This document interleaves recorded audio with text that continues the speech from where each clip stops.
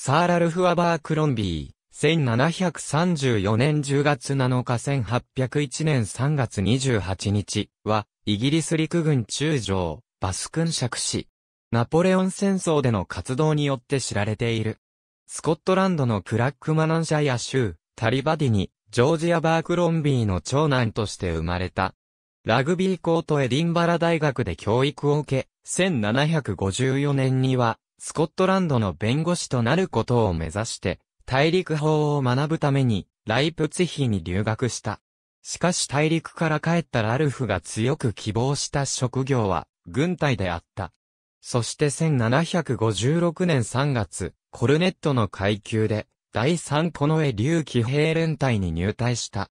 彼は、連隊と共に7年戦争に従軍し、そこで、プロイセンのフリードリヒ大王が、どのように軍隊の性格を組み立て、どのような戦術を編み出すかを研究する機会を得た。昇進を重ねて1773年には、連隊中佐となり、1780年には、大佐心得となった。1781年には、キングズワイリッシュ風評連隊の大佐となったが、連隊は1783年に解散され、ラルフは半額級の給食となった。この時に至るまで、彼は実戦にはほとんど参加していなかった。それは主に政府の方針に不賛成であったことと、特にアメリカ植民地の独立のための戦いに共感を寄せていたことによるものだった。現役を退いたのも同様な気持ちからであることは疑う余地がない。軍を去った後は、クラックマナンシャイアとキンロスシャイアの議員として、しばらく政治活動を行ったが、彼にとってそれは面白いものではなかった。そして、兄弟の賛同を得て、そこからも身を引き、エディンバラに落ち着いて、子供たちの教育に専念した。しかし1793年に、フランスがイギリスに宣戦を布告すると、直ちにその職業上の義務を果たすべく行動を起こした。イギリス全軍で最も有能かつ勇敢な士官の一人と、みなされたアバークロンビーは、ヨーク後配下の旅団長として、オランダに出動した。そして、ルカ島において、前進部隊を率い、ナイメーヘンで負傷した。1794年から1795年にかけての冬には、オランダから壊滅的な退却を行うイギリス軍を護衛する役目を果たした。その戦功が認められ、1795年にバス勲爵士に列せられた。同じ年、サーチャールズ・グレーの後任として、西インド諸島のイギリス軍総司令官に任じられた。1796年、アバークロンビーは、陸軍の文献隊に、グレナダを吸収させ、これを攻略した。さらにその後、南アメリカのデメララとエセキボの入植地や、セントルシア島、セントビンセント島及び、トリニダード島も獲得した。イギリスによる1797年のトリニダードトバゴの獲得を記念したメダルトリニダードトバゴを占領したイギリス軍の総司令官サー・ラルフ・アバークロンビー1797年4月17日、アバークロンビーはドイツの傭兵とイギリス海兵隊、それに60隻ないし64隻の艦隊を含む7000から1万3000名の部隊を率いて、プエルトリコ島に侵攻した。プエルトリコには、ドン・ラモン・デ・カストロ将軍の部隊がおり、中でも、正規軍、おそらく、プエルトリコ出身者からなる、プエルトリコ常備連隊、及び、王立砲兵隊が、侵攻軍に抵抗した。長距離の砲撃戦や、白兵戦を含む2週間にわたる、激しい戦闘の末、サンフアンの最初の防衛戦を超えることができないまま、4月30日に、アバークロンビーは撤退した。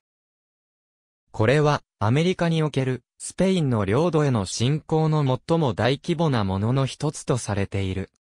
その後アバークロンビーは、ヨーロッパに戻り、重要な功績への報酬として、ロイヤルスコッツ、グレー連隊の連隊長に任命され、また、ワイト島、フォートジョージ、フォートオーガスタスの統治を任されて中将に昇進した。1797年から1798年にかけてはアイルランドの軍隊の総司令官となった。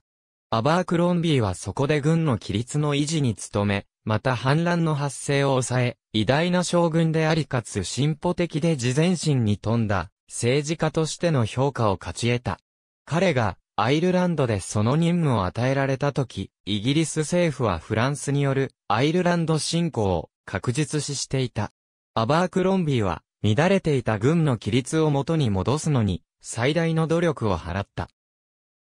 そしてその第一歩として、市民の力の優位を再確立し、また、法の執行と秩序の維持のために必要をやむを得ない場合以外は、軍隊の出動を許さないことによって、市民を保護しようと努力した。しかし彼は、アイルランド政府の長官から十分な支持を得られず、また彼のすべての努力は、議会の首脳によって、ことごとく反対され、妨害された。それを知ったアバークロンビーは司令官の職を辞任した。懸命な人々はアイルランドからの彼の退去を大いに嘆いた。そして事態は直ちに最悪の結果を迎えた。それは彼が予想し、防止するために熱心かつ懸命に努力したものに他ならなかった。スコットランド総司令官の役職に短期間ついた後、1799年にオランダのバタビア共和国への作戦が決定されると、サーラルフは再びヨーク港の配下の軍隊に召し出された。1799年の作戦は失敗に終わったが、彼の働きは目覚ましく、たとえ完璧な勝利を得たとしても、この優秀な士官の才能をこれ以上はっきりと証明することができなかっただろう、と敵味方ともども認めるところであった。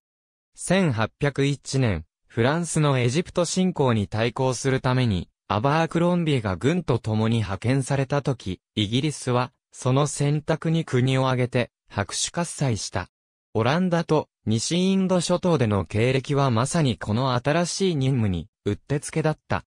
それは、大変な困難にもかかわらず、彼がその軍隊を健康なまま、勢いようと、物資の不足なしに、予定通りの戦場に引き連れることで証明された。激しい抵抗に直面しつつ行ったアブキールへの上陸は、イギリス陸軍の最も大胆で輝かしい成功の一つと評価されている。上陸成功の直後、1801年3月21日にアレクサンドリアの戦いが起きた。勝利の瞬間に死の運命が訪れた。命中した弾丸を摘出することができず、戦いの7日後にアバークロンビーは死亡した。遺体は、軍艦、フードロイアントによってアレクサンドリア港に運ばれた。アバークロンビーの上官であり、また古くからの友人でもあるヨーク公は、式典で偉大なる兵士を次のような言葉で称えた。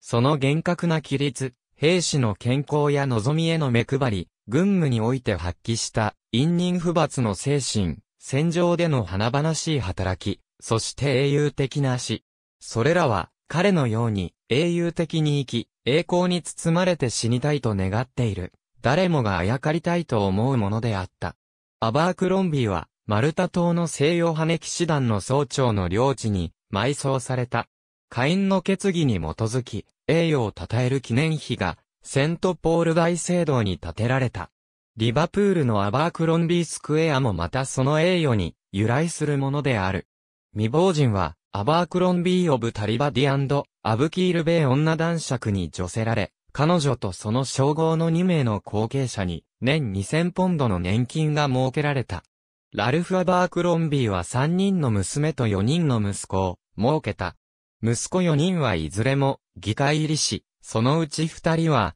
軍歴もあった。部隊の規模は確認不能であり、唯一、スペインとプエルトリコ側によって数えられた記録があるのみである。ありがとうございます。